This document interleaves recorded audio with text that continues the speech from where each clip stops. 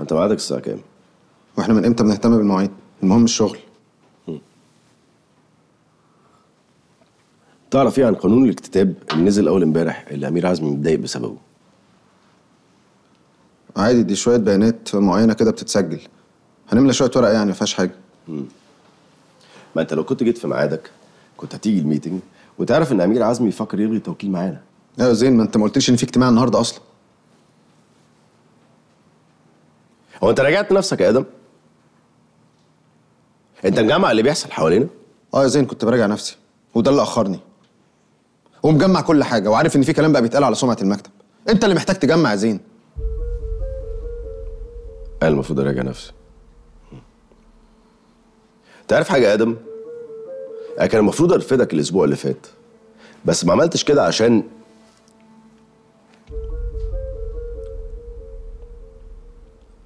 بس أنا المفروض ارفدك دلوقتي. بقول لك إيه؟ امشي. امشي!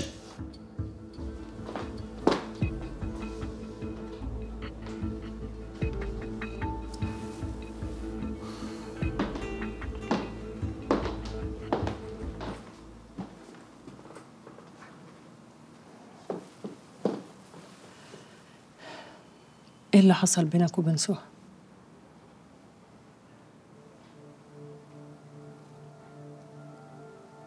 أخوه عنده كانسر ولازم تسافر أمريكا عشان تبقى معاه.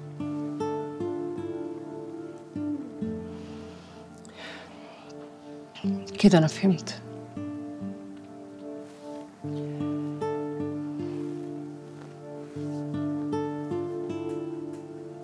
ما تزعلش. أوعدك هتكون أحسن.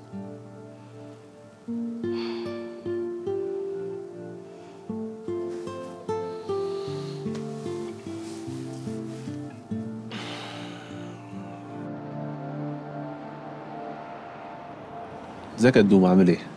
الحمد لله ازيك يا أبو حميد. أنا عايز أقول لك على حاجة. أنا مش حمل خناقات خالص اليومين دول. إيه يا عم في إيه؟ ما تقلقش. أنا شفتك قلت أجي اسلم عليك بس. إيه حوار الخناقات ده بقى؟ أدري ولا إيه؟ اللي أعرفه يعني ما يعرفش يقرب منك طول ما أنت في حماية زين. وهي دي بقى سمعتي في المكتب؟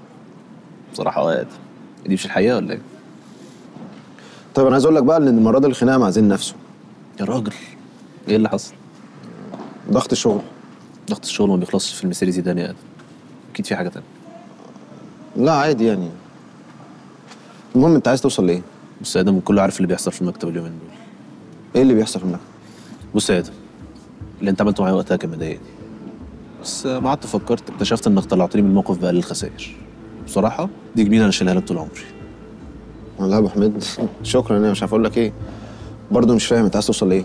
دلوقتي شغال في الكيان الاستشارات القانونيه شغلهم حلو ومريح والأوضاع أحسن من عندكم بكتير. لو تحب أظبطك قول. أنت بقالك سنة شغال مع زين ثابت ودي حاجة تخلي أي مكتب محاماه في البلد يتمناك